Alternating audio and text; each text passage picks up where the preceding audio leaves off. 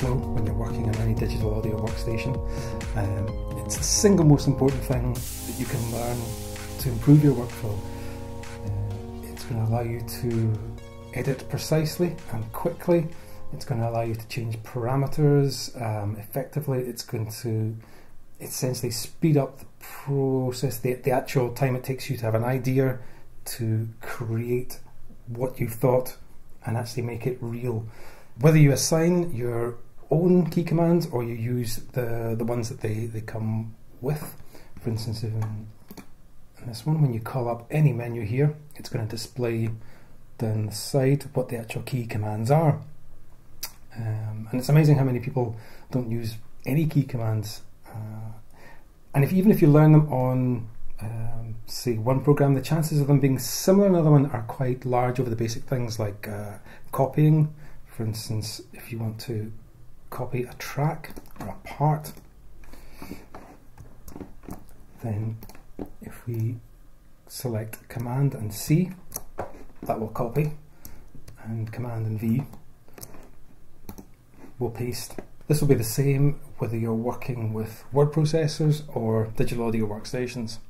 Some programs like Pro Tools will force you to use their key commands. There's no way to actually change them. Uh, if this happens, uh, then you're just going to have to learn theirs. But if you're working across several different platforms and one of them doesn't allow you to change it, it's probably best to learn that one and then impose those commands on all the other sequencers that you might happen to be working with. Uh, if you work solely with one, not an issue, but I have found the more you get into using your key commands, the easier it is to jump onto other platforms. I would advise setting them up, and the way I would go about doing that is try and think about what you actually do when you're working. Let your workflow tell you what it is you need to do. If you find yourself editing lots of things, then work out how to chop things, for instance, if we select an area here, say I wanted to chop across my whole uh, sequence here, I could do it in several ways. One way would be to draw, drag my mouse across all the parts I want to edit, highlight them. I could then go and select the scissor tools, split there and that's one way of making a chop across those selected tracks. I wanted to chop everything, so I had to drag across everything. Now as your sequences get larger and expand, and they can be beyond one screen's worth, that actually becomes a bit of a risk because you have to make absolutely certain you're dragging across everything. Undo that, a quicker way of doing it is to select everything, Command A, and I have a tool set up so that wherever my cursor is, my playhead cursor is, I use the backslash. It's got a slash, it's like a cutting. It's the same thing. Now what's happened there is it guarantees that I've selected everything, even if my sequence was much, much larger, it would have selected everything. I wouldn't have had to drag across it and wait for the wait for logic to kind of move with my cursor and it, it, it, cuts down the number of steps. So it's a very kind of, it becomes very, very quick and instinctive, so you can just end up going like that. And if you need another cut later on, it's the same thing.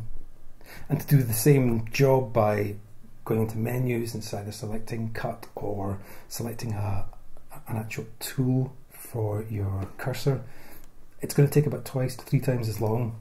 And although that doesn't seem like a really a big deal, and when you're starting out, it, it, it doesn't really matter so much. But as you progress, you'll find that these things will become the bottlenecks in your workflow, the bottlenecks in your, your kind of production. One of the biggest things in terms of once you actually have your parts it's, is arranging them and editing them.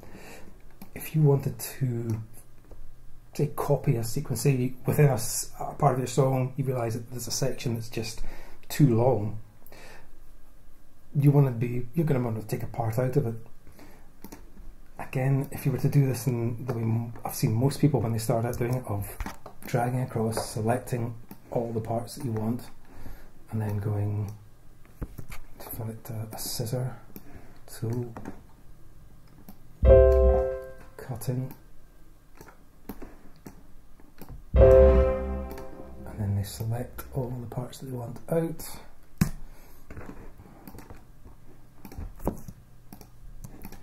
And then they'll obviously want to join these two parts up unless you want a huge gap in your song. Then they have to drag all the way to the end.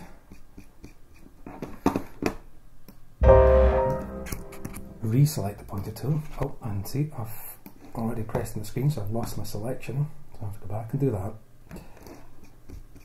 And come back and drag it across. So, nothing wrong with that, but it, as you see, I mean, I'm, I clicked on the screen, I lost my selection, took a bit of time, and it's the kind of thing that if, for instance, I'd accidentally not selected one little element of it, everything else would have moved, that would be out of time. So you're going to have a part of the song in a different part it shouldn't be. A quicker way using key commands would be to select everything. Now I've got my loop selector up at the top, and I have a key command set up to cut anything within that that's selected. So suddenly that is cut. Now in cutting it, it also selects it. So we just hit delete. And in bringing everything back here, I've got another command if you have. On my system, it's Shift and F for everything following. The more you can kind of semantically link your key commands. So command, you know, Shift F, Shift following, at the backslash for a cut. The more you can have these things make sense, the easier it's going to be for you to remember them when you when you're kind of devising your own. If you don't want to adopt ones that the manufacturers have kind of imposed on you. So we've got that everything selected from, and by doing that, I know that absolutely everything after that point is selecting. I don't have to go and drag it and check. And I want to move it all back to here. Well, I've got a key command to move everything selected to playhead. So that just moves like that, super quick. And it automatically removes all doubt that you haven't correctly selected something later on because you're not dragging across the scenario.